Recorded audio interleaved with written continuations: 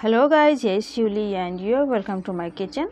Today I am going to make a viral recipe, a trending recipe that is called potato bites, seasoned potato bites. This recipe is actually from Chinese and Korean origin. I tried it before and it's really tasty. So guys, let's see the recipe. So for making these chewable potato bites, I have taken 3 boiled potatoes and now I need to mash them. I am using a fork. You may use a masher or you may use your hand or your grandma's rolling pin there's no problem. So i'm mashing them. After mashing a little i'm adding 1 4 teaspoon of black pepper powder and half teaspoon of red chili powder for taste and half teaspoon of salt according to taste. Now i'm mixing a little again and now we need to add some flour. So i'm using corn flour. You may add uh, potato starch or plain flour or wheat flour as you like there's no problem. And now i'm going to use my hand and my hand is very clean you know. Now we need to uh, knead a dough. So i'm going to add some more flour if needed. So i'm adding some more flour and now i'm kneading it very well like a dough for chapati it's ready now. And after making the dough i washed my hands nicely. And now i'm greasing some oil in my hands. And now we need to make some balls. You may keep the shapes according to your wish. There is no problem. And if you want you may make them in different shapes as you wish. And my first ball is ready. In the same process i am going to make all the balls. So let's do it.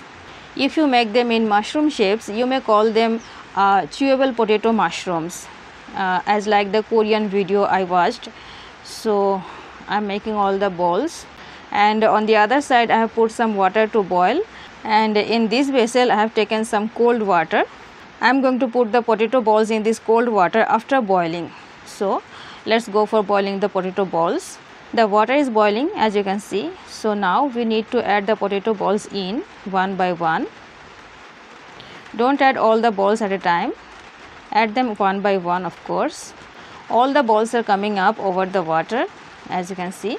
And after they have come up we need to boil them for about 10 to 12 minutes. On high heat of course.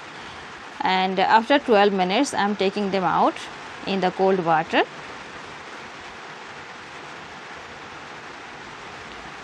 I am doing very carefully and uh, after about 1 minute I am taking them out into a plate from the cold water. And now it's time to season them. So i'm taking a bowl. In the bowl i'm adding 1 4 teaspoon of black pepper powder 2 tablespoons of powdered sugar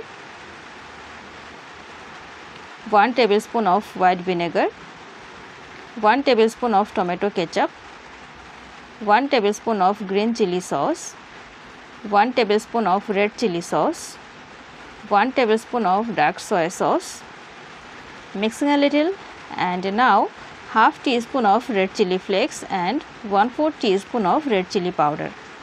I am mixing everything nicely now. After that I am going to add the potato balls in and on the other side I have put some oil to heat and now I am going to add the hot oil in the mixture.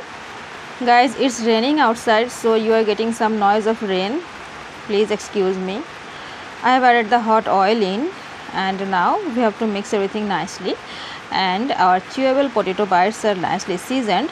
Now you may use some chopped fresh coriander leaves to garnish or some spring onion but I don't have them so I'm going to use some sesame seeds to garnish. So let's serve them. Before serving I'm going to show you how much soft they are. You can notice guys that they are looking very translucent and I'm showing you that how much soft they are.